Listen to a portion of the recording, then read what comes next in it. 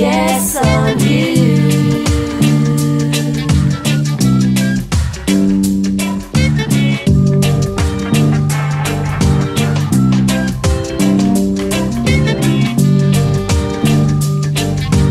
Freedom and to save their lives.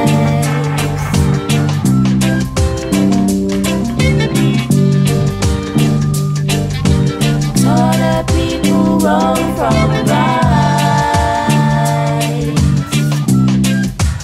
wrong from right.